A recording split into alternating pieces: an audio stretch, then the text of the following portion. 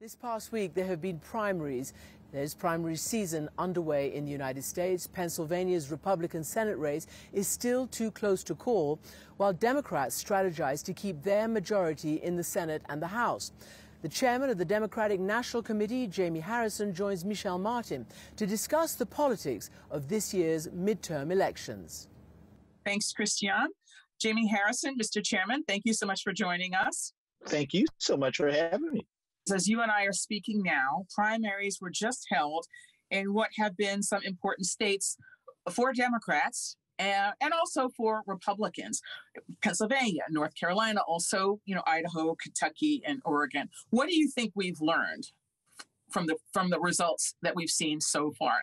Well, one of the things I, I, was very excited to see that we had strong turnout from Democrats, um, particularly in two of our targeted battleground states, Pennsylvania and North Carolina. Uh, in Pennsylvania, we saw 400,000 more voters come out in the Democratic primary over what we have seen uh, previously in 2018. and similarly, we had very strong turnout in North Carolina as well. Uh, and so uh, it, that bodes well for us. Uh, we have gotten some really strong candidates uh, who in Pennsylvania and North Carolina to be our, our, our standard bearers for the United States Senate. Uh, and I think that's a that's a great thing as well. And what I've seen is coming out of the primary that the coalescing that sometimes is very difficult to take place after the primaries, uh, it's happening and it's happening very quickly uh, and very strongly. And so that's what you want to do. You want to see the party come together to support the nominee so that we are well well positioned to win the race in November. And what do you think we've learned from the results on the Republican side? It's a hot mess. I mean, uh, you, you, got Donald Trump pulling the Republican Party in one direction. I mean, you take, for instance, in uh, Pennsylvania, uh, Mastriano, who's now the Republican candidate for governor. This guy is a, a, a QAnon believer. Um, he believes in the big lie. He participated in the January 6th insurrection and he now is their standard bearer uh, for the governorship in the great state of uh, Pennsylvania. Uh, and then you look at the Republican primary for uh, the United States Senate in Pennsylvania, and it's even a bigger mess. You got one guy who actually lives in New Jersey, and the other guy who actually lived in Connecticut, all vying to be the next senator from the great state of Pennsylvania all trying to be the next uh, Donald Trump and out Donald Trump each other. Um, but that is what we see with these ultra MAGA Republicans uh, who are running for office these days. Instead of fighting for the people, instead of uh, trying to do things that improve the lives of people, uh, they're trying to kowtow to Donald Trump. And that's just sad. Okay, but let's talk about what effect that that may have electorally. I mean, the fact is, you know, analysts going into this year have have basically said that the Democrats are in a world of hurt. In part because it's just structural that midterm elections tend to be tough on the whatever party holds the White House. In addition to that, there are more Democrats who are up for reelection. They're in more vulnerable places, or they're in places that be, they're battlegrounds in part because they are in play. And on top of that, you have people looking at the fact that Republicans, for whatever reason, have been willing to coalesce around a very narrow basket of issues, right? And what we've seen is that the, the former president's endorsement alone isn't enough to pull candidates across the finish line, right? But we also see that this willingness to embrace election denialism has taken hold on the Republican Party. So people are saying all that together says that this is going to be a tough year for Democrats. Do you agree? No, I don't agree. I mean, analysts said that we couldn't win runoff elections in Georgia. Well, hell, we didn't win one, we won two. Uh, Jon Ossoff and Reverend Warnock are actually United States senators in the state of Georgia. You know, pundits in the past said, you know, it's hard to beat an incumbent president. Well, you got an incumbent, uh, a former incumbent president who's now golfing in Mar-a-Lago, watching conspiracy theories uh, at movie night every Friday night in Mar-a-Lago. So analysts will say a lot of things, but in the end of the day, if the Democratic Party comes together in terms of being on one page, in terms of message and mission and purpose, I know that we can make our own history. Uh, the Republican Party right now is a party that is built on fraud, is a party that is built on fear, and is a party that has been touching on fascism for the past few years now. And it's very, very dangerous. Think about this in this country. You have one party that has a full frontal assault on democracy right now, one party that was inter- integral in a, a coup attempt of the American government from the legislative branch to the executive branch and maybe even the judicial branch, uh, given Clarence Thomas and his wife's involvement. Uh, they are going after free speech in this country. They love to go after the Second Amendment, but they got to understand before the second was the first, which is the freedom of speech in this country. Right now, you have a party that is banning books. They're they're trying to go after privacy rights and the rights of women to control their own bodies. They're going after voting rights in this country. They're attacking the LGBTQ community. They're asking people. Greg Abbott is asking people to report on families that have trans youth. These are things that don't sound American. They sound like something you would find in places like Russia. And that is the standard. That is the core of the Republican Party these days. So, is that the Democrats' message that Republicans are dangerous and anti democratic? Is that the core of it? Well, it, it, it is. And it's not just a Democratic message, it's the reality of the situation right now in this country. We have never seen these types of attacks on our fundamental freedoms. And we all should be very, very frightened by it. The, the attacks on the press, the uh, the constant attacks. This is all in the mainstream of the Republican Party. Who would have ever thought, Michel, that the Republican Party, a party where uh, where Ronald Reagan really was the heart of the Republican Party. It, as I grew up as a child who was born in the 70s and really cut my teeth in understanding politics in the 80s. And you see how revered Ronald Reagan was. He was the man who said, Mr. Gorbachev, tear down this wall 35 years ago. And now the last Republican president is basically telling the, the former KGB agent, Mr. Putin, you know, go ahead, go rebuild the wall. It's fine. We're okay, okay. with that. Okay. They are harder on Mickey Mouse than they are on Vladimir Putin. And that is today's Republican Party. And do you think that that message is sufficient for people who are struggling with quality of life issues? I'm sure you know the Republican argument, you know, better than anybody. The Republican argument at its core is that this this administration, in particular, Democrats in general, aren't addressing quality of life issues like uh, exorbitant gas prices, like the infant formula shortage. Uh, their argument, they're really not talking on the campaign trail about these anti-democratic initiatives that that you have enumerated and that people like I cover. But that they are talking about is infant formula shortages and gas prices and inflation.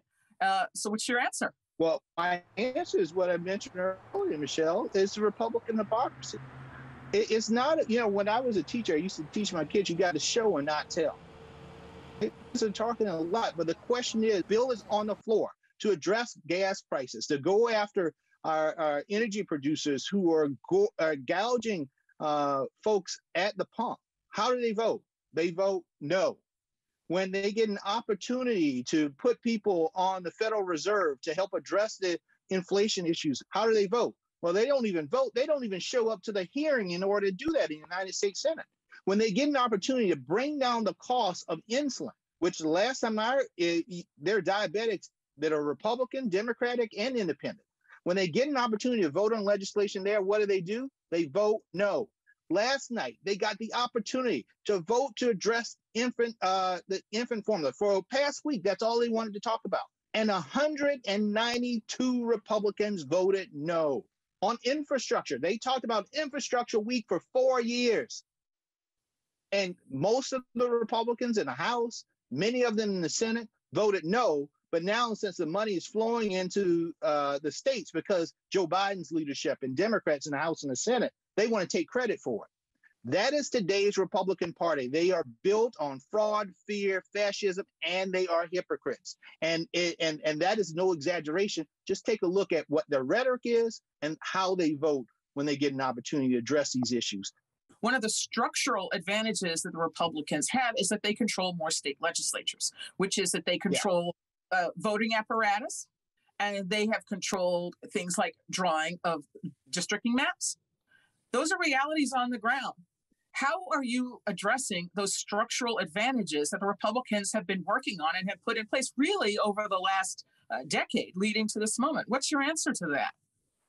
Well, you know, it's been that's been a reality on the ground for the past decade or so that the Republicans have had more control of state houses and governors' mansions, uh, and therefore, even in the last redistricting, it was the same uh, same type of process.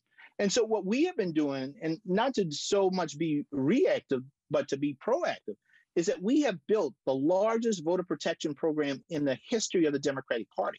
Uh, and instead of starting three months before the election and starting to put voter protection teams and lawyers and all on the ground, uh, we started this well into uh, the beginning of last year, building out operations in our battleground states to make sure that we had boots on the ground to educate our voters, to make sure we start the registration process of those voters, to organize those voters, and to all set up to protect those voters. Once they go to the polls and after they go to the polls to make sure that their votes uh, their votes are counted.